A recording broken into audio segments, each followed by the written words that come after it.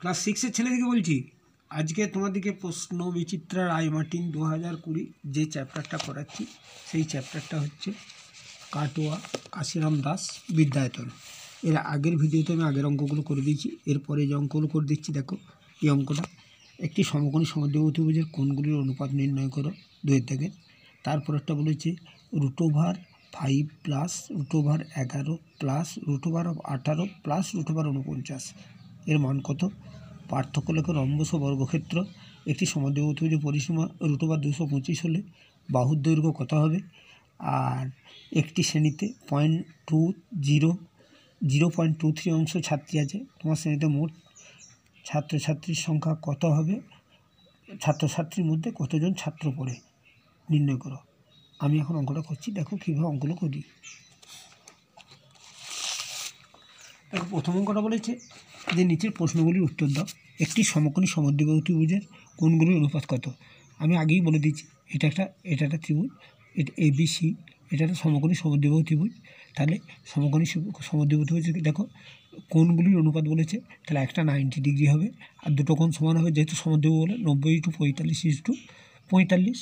তাহলে তুমি বলতে পারো যে কাটাকাটি করলে কত হচ্ছে? দুই ইস টু এক, ইস টু এক। তার মানে দুই ইস টু এক, ইস টু এক হ্যাঁ এটা হয়ে গেল। এরপর অঙ্কটা দেখো। এরপর অঙ্কটা দেখো বলেছে যে রুট ওভার পাঁচ প্লাস রুট অফ এগারো এগারো plus root of plus root of আঠারো। এরপর তুমি এইটা রুটটাকে বার করে দাও। এই রুটটাকে বার করে দিলে হচ্ছে সাত। একটা রুট উঠে গেল। এরপরে দেখো, তুমি পনেরোটা রাখলে, পনেরোটা প্লাস রুট অফ এগারোটা রাখলে এগারোটা রাখলে আঠেরোর সাথে পঁচিশ হয়ে গেল। পঁচিশের বর্গগুণ করলে কত? পাঁচ এসে যাচ্ছে। তাহলে কত হচ্ছে? এগারো পাঁচে ষোলো। হুম? তাহলে এটা হচ্ছে কত? এটা হচ্ছে পাঁচ এটা। পাঁচ। পাঁচ? তাহলে দেখো এবারে এগারো। আর তোমার এইটা হচ্ছে আঠেরোর সাথে আঠেরো। প্রথম একটা কথা হচ্ছে দেখো? আঠেরো। এইটা আঠেরোর সাথে পঁচিশ। এর বর্গমূল করে দিলে তাহলে এগারো প্লাস পাঁচ হয়ে গেলে চার হলো। আর তারপরেরটা কী হচ্ছে দেখো, এইখানে হচ্ছে কত? পাঁচ, এটা পাঁচ আছে। আর এইখান থেকে এগারো এগারোর চারে কত হচ্ছে? এগারো পাঁচে ষোলো। তার বর্গমূল করলে কত হচ্ছে? চার হচ্ছে। চার যদি হয় তাহলে পাঁচ আর চারে কত হচ্ছে? নয়। নয়, তাহলে রুট অফ নয় সমান উত্তর হবে তিন। তাহলে প্রথমে কী করলে? পাঁচটা রেখে দিলে। এগারোটা রেখে দিলে প্লাস রুটটা রেখে দিলে, দিয়ে তুমি উনপঞ্চাশে বর্গমূল করলে। উনপঞ্চাশে বর্গমূল করে সাত পেরেছ দিয়ে আঠেরোর সাথে পঁচিশ করছ এখানে পঁচিশে বর্গমূল করলে পাঁচ হচ্ছে, এই এগারোর সময় পাঁচটা যোগ করছ, এই রুটটা উঠিয়ে এগারোর সময় পাঁচটা যোগ করলে চার, ষোলো হচ্ছে, ষোলোর বর্গমূলটা কত হচ্ছে? চার হচ্ছে, তাহলে পাঁচ, আর এইদিকে চার হচ্ছে, পাঁচ চার নয় হচ্ছে, নয়ের বর্গমূল করছ রুট থ্রি এই তিন হচ্ছে। তাহলে এটা হয়ে গেল। আর রম্বস আর বর্গক্ষেত্রের পার্থক্য কী?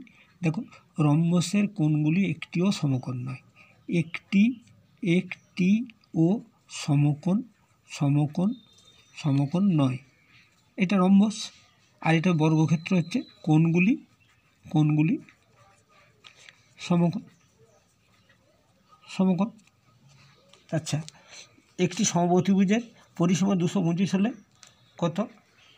বর্গ এর বলছে সমবর্তিভুজের পরিসীমা দুশো পঁচিশ হলে তাহলে তোমার এর বাহুর দৈর্ঘ্য কত হবে। দুশো পঁচিশ মানে কি ধরো? এর বর্গমূল করে দাও তাহলে পনেরো। তাহলে পনেরো। এর বর্গমূল পনেরো। তাহলে কত হচ্ছে পনেরো সেন্টিমিটারই ধরো, পনেরো সেমি হ্যাঁ? এটা সেমি এটা দুশো পঁচিশ সেমি করবে হ্যাঁ? সেমি তাহলে পনেরো সেমি তাহলে অত পরিসীমা সমান কত হবে? পরিসীমা সমান পরিসীমা সমান পনেরো সেমি পনেরো সেমি হ্যাঁ? এবারে আমরা জানি কি ত্রিভুজের তিনটে বাহুর যোগফল কত? পরিসীমা। তাহলে যেহেতু সমবর্তিভুজ তিনটে বাহু সমান, তাহলে তিনটি বাহুর দৈর্ঘ্য কত? তিনটি বাহুর দৈর্ঘ্য কত হচ্ছে? তিনটি বাহুর দৈর্ঘ্য দৈর্ঘ্য কত? দৈর্ঘ্য হচ্ছে পনেরো পনেরো, অর্থাৎ একটি বাহুর দৈর্ঘ্য, একটি বাহুর দৈর্ঘ্য কত হবে? একটি বাহুর দৈর্ঘ্য দৈর্ঘ্য সমান পাঁচ, তাহলে অতএব পাঁচ সেমি। দেখো, প্রথমে তুমি কী করলে? দুশো পঁচিশে বর্গমূল করে দিলে, দুশো বর্গমূল করে দিলে পনেরো বেরিয়ে গেলো। তাহলে পনেরো পনেরো যদি বেরিয়ে যায় তাহলে কারণ এটা একটু কায়দা করে দিয়েছে, দুশো পঁচিশ রুট করে দিয়েছে। এবার দুশো পঁচিশতে রুট থেকে তুমি এটা ভেঙে বার করে নাও, পনেরো করতাম তাহলে পনেরো হয়ে যাচ্ছে। তাহলে পনেরো সেমি আমার পরিসীমা হচ্ছে। তাহলে পনেরো সেমি যদি পরিসীমা হয়, তাহলে পনেরোকে তিন দিয়ে ভাগ করলে আমার কী হয়ে যাচ্ছে? পনেরোকে তিন দিয়ে ভাগ করলে আমার একটা বহু দৈর্ঘ্য বেরিয়ে যাচ্ছে। তাহলে একটা বহু দৈর্ঘ্য আমার পাঁচ সেমি বেরিয়ে যাচ্ছে। আরেকটা জিনিস দেখো, খেয়াল করে। বলেছে যে তোমাদের শ্রেণীতে পয়েন্ট টু থ্রি অংশ ছাত্রী আছে। তাহলে যদি টোটাল যদি একশো হয়, তাহলে পয়েন্ট টু থ্রি অংশ হ্যাঁ? তাহলে তেইশের একশো। তাহলে তাহলে তেইশের একশো গণিত তেইশ। কত হচ্ছে?